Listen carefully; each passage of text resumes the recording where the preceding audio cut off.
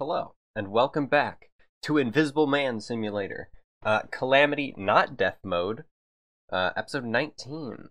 So, we're back. We have full map control. Uh, we got full Shroomite armor with the ranged arrow headpiece, uh, which makes us go fully invisible. Now, one thing I wanted to say is yesterday's video, if you didn't read the description or if you saw it and you weren't sure why I was insanely mad, uh, I had to deal with two to three hours, maybe four hours of blue screen issues. I was just getting the blue screen of death so much. It was it was so annoying.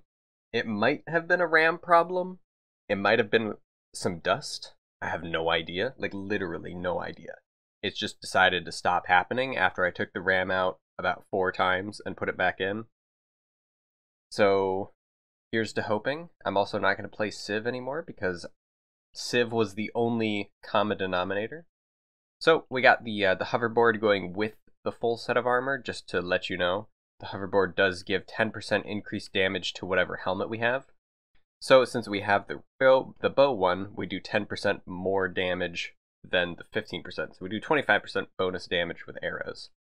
Um, now going over death mode and why I'm not going to change it. Um, so I'm just going to list a few bosses and then I'll tell you exactly what the changes in death mode versus revengeance are. Desert Scourge, Eater of Worlds, Queen Bee, Wall of Flesh, the Twins, Brimstone Elemental, which we're going to do today, along with the Aquatic Scourge, the Destroyer, Skeletron Prime, Calamitas, Plantera, Leviathan, uh, Golem, Astrum Aureus, Plaguebringer Goliath, Ravager, uh, Dragonfolly, which is Bumblebee, uh, Old Duke, which I'm never gonna do, Devourer of Gods. Now, all of these guys have the exact same thing, where if you were to go onto the wiki, into the death mode section, and just hit Control F, speed, they would show up on that. Their speed just increases based on how much damage they've taken.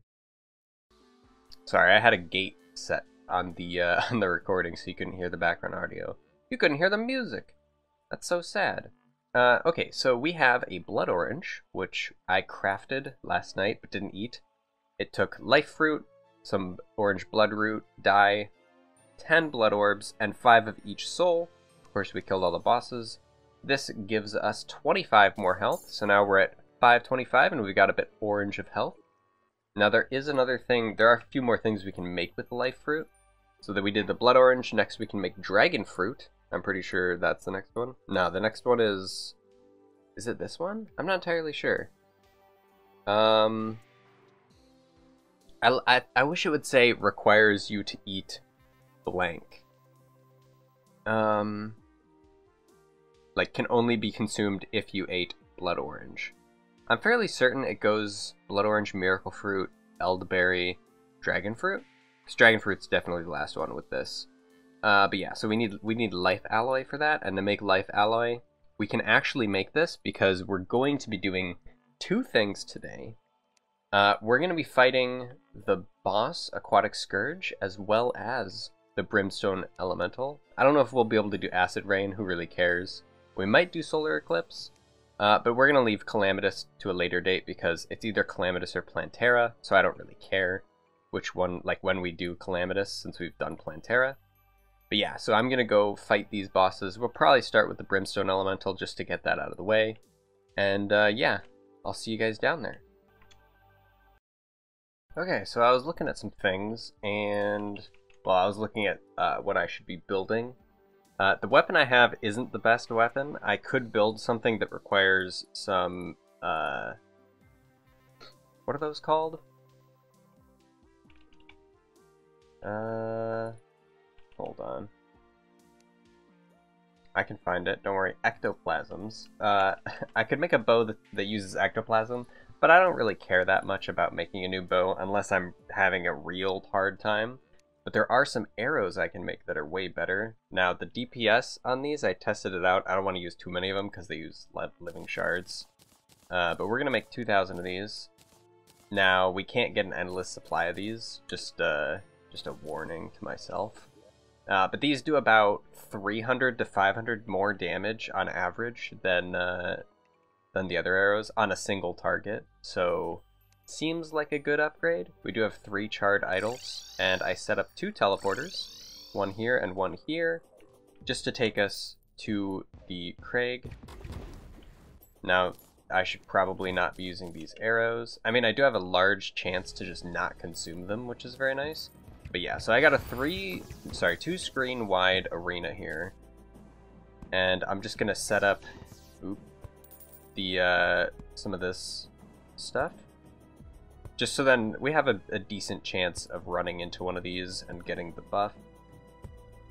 Just in case, you know, things go south, I can just make sure I'm always getting the buff, especially since it's an unlimited use item. Might as well make the stand in as many places as possible, so we always have the honey buff, even if we're lingering in a single spot for a while and then move a little bit. So we're just going to buff up, kill these enemies, and start off with the Brimstone Elemental. First boss. Okay, we're gonna switch over to the correct stuff. Now the Brimstone Elemental, ooh, it has a little buddy now. That's cool. Uh, this boss, probably one of my favorite but also least favorite bosses. It's not a bad boss, it's just the projectiles get a little difficult to deal with from time to time. As well as the fact that you just, like, you need a twice as big of a screen as what you have, pretty much. Which is kind of annoying. But, other than that, it's a really good boss. Because it has, like, really solid phases and everything. But the hard, like, the, uh, like, the expert mode, basically, the level 2 version of her is really difficult. But yeah, she just flies around, shoots stuff at you, teleports pretty much. But she shoots a lot of stuff at you when she gets enraged uh, into the third phase.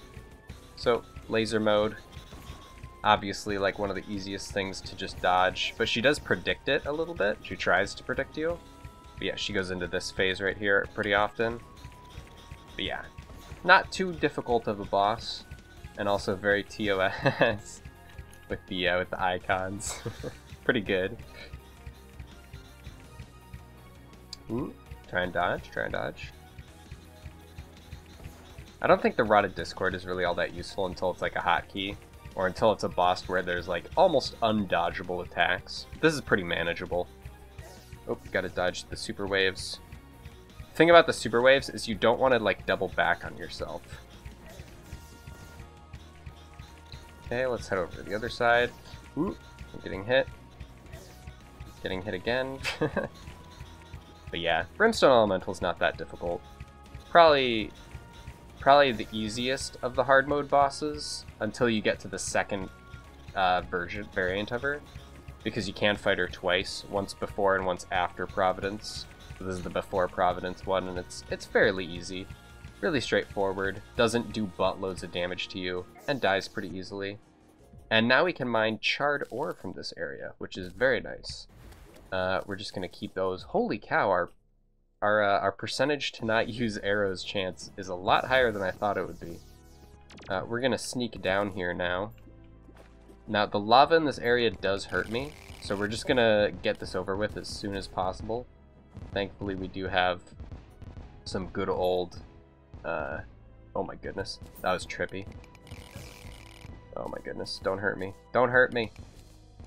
I'm just trying to mine your ore, bro. We do have some uh, convenience here because this does count as an ore. So we will be able to mine it almost instantly. We'll put that on so we can go a bit faster. But yeah, so that was uh, that was the Brimstone Elemental. We'll uh, we'll move over to the dungeon, farm out a little bit of that. I'll show a little bit of it, but it'll be pretty simple. Uh, and then we'll just head on over to the Aquatic Scourge. Okay, so I never actually uh, did anything to the dungeon to make it like farming capable, so that's kind of an issue. thinking thinking about it now. Uh, but yeah, I'm just basically hanging out in this big open area, waiting for stuff to spawn, and then taking advantage of the fact that they're all to go below me. Uh, but yeah, that's that's pretty much the whole thing. I have gotten a few interesting things, like Wrath of the Ancients, which... Oh my goodness, that's interesting. I've never seen that before. I think that's pretty new. Is that from Calamity? Yeah, it is from Calamity. I've never actually seen that before. That must be pretty new. Ectoblood turns into ectoplasm. Uh, so it's pretty much just like a, hey, if you didn't get good RNG with the ectoplasm guys, uh, here you go. And then we also do have iodisks. I don't, I don't know how to pronounce this at all, dude. Uh, but basically, they, uh, they're, they're like cultist, lunatic cultists that just hang out in here. Uh, they're also in the abyss, uh, believe it or not. Pretty crazy that they'd hang out in two different places. Uh, just like, you know, existing and stuff. But uh, they drop tablets, and the tablets, I'm fairly certain, summon uh, the lunatic cultist. I'm not entirely sure, but I think so. Ooh, the paladin. I might want him. I don't know what you can get from him, but there is something I might want for him from him because I think he gives a shield or something. But uh, things that I'm wanting from here, obviously a lot of ectoplasm. I am going to want uh, the tabby as well as uh, the other thing so I can get the Master Ninja gear. Because I'm fairly certain that upgrade gets an upgrade so I can have like a better dash ability than the one that I have right now. These guys are also passive until you hit them. So if you accidentally hit them, they'll fight you and they'll use attacks like that. But they do drop a fair bit of stuff, which is pretty nice. But yeah, I'm just going to be farming these guys out to see what I can't get. Hopefully I get some decent stuff. But yeah, the uh, the ninjas, Bone Lees, are pretty much what I need to be fighting a whole bunch of. So, we'll see if I can't get the stuff I'm hoping for in a decent amount of time. And then fight the Aquatic Scourge. Okay, we're back. I'm not exactly sure how long this episode's going to be, so I'm going to cut it short here. Uh, but before we go, I'm going to say some things. So I managed to get a wisp in a bottle, which summons this cute little wisp here. He's always like kind of ahead of you pretty much, but it provides a, instead of a moderate amount, a large amount of light in the abyss. So it gives me one more light level. Now I did manage to get the black belt and the tabby, uh, but I didn't get them the conventional way. This, uh, this NPC here, the Deviant, sells all of the rare enemy summons. So I can get the, uh, the Skeleton Mages, Skeleton Gunners, Paladin, Bone Lee, um, even Mothrons. Just They just only spawn in specific conditions. So I just set it to nighttime and spawn them all up. Uh, so I spawned about 20 of those guys just to get those two accessories, which allows us to make the tiger climbing gear and then the tabby Oh no, the ninja gear. Ninja gear. Now the master ninja gear can turn into the status belt. Uh, but this requires me to get some more purified gel, which I can get pretty easily, but I'll do that between episodes. So then I'll manage to get this, which can obviously turn into a void sash. And that'll take a little bit longer because Nightmare Fuel requires us to have killed a few later game bosses. But hopefully this will give me a bit of an edge. It uh, it doesn't seem that amazing. uh, it gives jump speed and allows constant jumping, which I guess I guess is cool. Is this really something I want? I mean, I guess the Void Sash is really good. Uh, but I wonder if I actually want this. We'll see. We'll see if I want it. It doesn't seem that amazing. Uh, I can't craft... Oh no, I can't craft this yet. How far is the dash compared to uh, my current one? So my current one can go from here to there if I let go. Can this make it all the way back? Yeah, it can. Oh, it goes way farther. Okay, so I will use that. It's worth using. So we got the Master Ninja gear. Can I turn off the ability to climb on walls? I can't. Okay, that's just something I'll have to get used to. But yeah, thanks for watching, guys. I'm going to try and finish off this series before uh, the end of the week. So I'm just going to be pumping out episode after episode. So I'll see you guys in the next one, which I'm filming right now.